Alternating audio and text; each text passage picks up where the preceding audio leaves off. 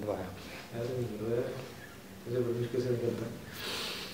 अस्सलाम वालेकुम मेरा नाम मोहसिन सिद्दीक है और मैं एज ए स्ट्रेटजिस्ट के तौर पे एक ग्रुप ऑफ़ कंपनीज़ में काम करता हूँ तंजानिया में और इससे पहले सुपर टेक्नोलॉजीज़ में